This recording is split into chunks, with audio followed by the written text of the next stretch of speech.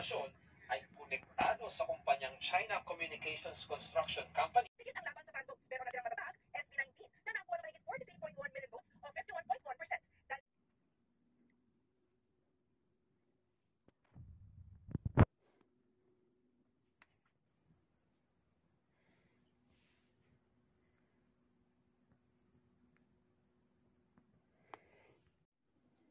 Pambihira talaga.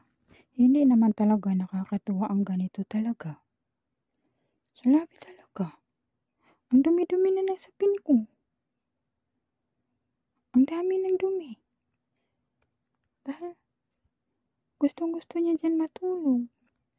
Pinalitan na talaga niya si Itam. Kawawa naman si Itam. Patay na yata si Itam. Natalo niya si Itam eh. Inagaw talaga niya yung ano ni Itam. Buhay ni Itam dito.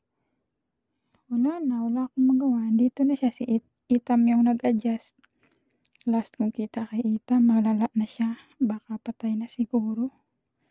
Di ko na nakita. Matagal na masyado. Siya na lang yung nandito. Hmm, dumi-dumi na o paa niya yan.